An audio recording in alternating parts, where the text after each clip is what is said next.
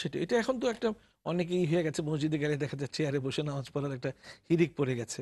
আসলে এটা তো মানে মানে স্বাস্থ্যকর হচ্ছে না। অবশ্যই এটা হচ্ছে এখন যেহেতু কেউ আরাম পেয়ে গেছে একটু হয়তো। হ্যাঁ, হাঁটু ব্যথা অথবা কোমর ব্যথা সেক্ষেত্রে হয়তো ডাক্তার সাহেব বলেছে আপনি আপাতত কয়েকদিনের জন্য এটা হয়তো রুগীরা হয়তো বুঝে না অনেক ক্ষেত্রে অজ্ঞতার ব্যাপার আছে রুগীরা এটা কন্টিনিউ করে।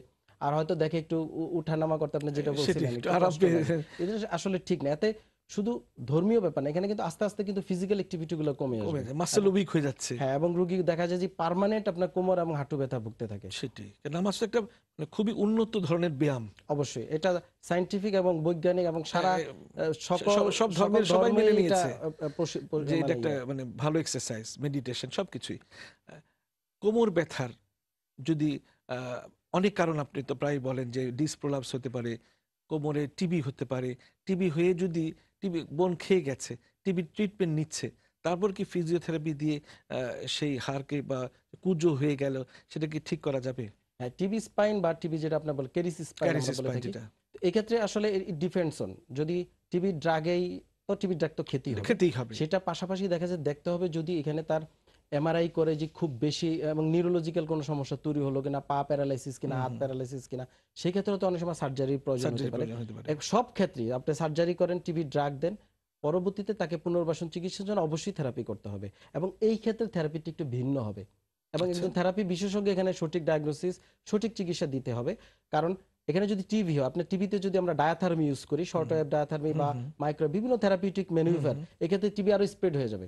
এবং আচ্ছা। রোগী কিন্তু মারাত্মক স্বাস্থ্য ঝুঁকিতে পড়বে এবং মারাও যেতে পারে। এই ক্ষেত্রে আমরা অন্য থেরাপিগুলো যেমন বিভিন্ন স্ট্রেন্থেনিং এক্সারসাইজ আরও আমাদের we have lots of equipment যেগুলো আমরা ইউজ করতে পারি এবং নিরাপদভাবে এবং এই যেটা বলছিলেন আপনি যে কুজু হয়ে যাবে এ- এটা হচ্ছে একটা ডিসেবিলিটি এটা থেকে আমরা কারেকশন করার জন্য বিভিন্ন মেনুবার এক্সারসাইজ এবং আমরা অর্থোসিস ইউজ করে থাকি। যেমন টোটালি স্পাইনটাকে কারেকশন করার জন্য মিলওয়াকি বেরেস বলি আমরা। টোটাল। স্পাইন কারেকশনের পাশাপাশি তাকে বিভিন্ন থেরাপি দিতে হবে। তবে এক এক মানে অ্যাকর্ডিং টু ডায়াগনোসিস অনুযায়ী আমাদের থেরাপিগুলো অ্যাপ্লাই করতে হবে। আপনি আপনার এরকম রোগীর সাফল্যের হার কেমন দেখছেন? কারণ বাংলাদেশে টিবি এত একটা প্রচলিত সমস্যা।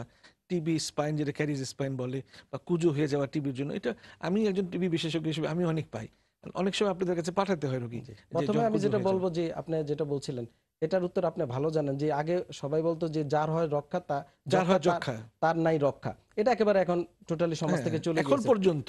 এখন পর্যন্ত ভবিষ্যতে তো আরও ভালো হবে। না এখন ভবিষ্যতে যদি এমডিআর টিবি না আসে তাহলে আর কি। আচ্ছা যাই হোক তাহলে যদি টিবি সঠিকভাবে টিবি চিকিৎসার পাশাপাশি আমি যেটা বলছিলাম আমরা যদি পুনর্বাসন চিকিৎসা দিতে পারি এক্ষেত্রে ডায়াগনোসিসটা খুব ইম্পর্টেন্ট যে কতটুক কম্প্রেশন আছে কিনা কোনো সার্জারি প্রয়োজন আছে কিনা এটা হচ্ছে গ্রুপ অফ ট্রিটমেন্ট এক্ষেত্রে আমাদের সার্জনের হেল্প নিতে হতে পারে টিবি স্পেশালিস্ট আপনাদের হেল্প নিতে হতে পারে।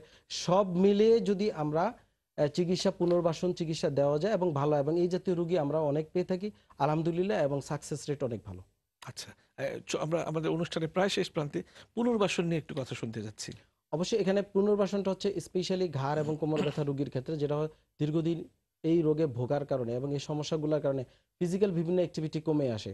রোগী চলাফেরা করতে চায় না। আপনি যেটা বলছিলেন যে নামাজ চেয়ারে বসতে বসতে বা দেখা যায় যে আর এক পর্যায়ে সে হ্যাঁ, স্বাভাবিক চলাফেরা করতে পারে না।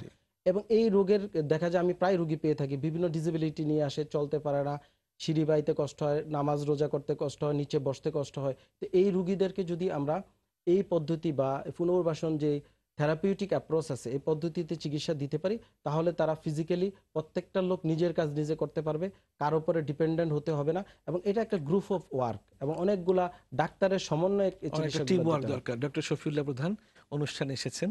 আমাদের দর্শকদের এই ঘাড় ব্যথা হাঁটু ব্যথা কোমর ব্যথার অত্যাধুনিক চিকিৎসা নিয়ে অনেক মূল্যবান কথা শুনিয়েছেন। আপনাকে অনেক অনেক ধন্যবাদ। আপনাকে অনেক ধন্যবাদ। আর টিভির সকল দর্শকদেরকে অসংখ্য ধন্যবাদ।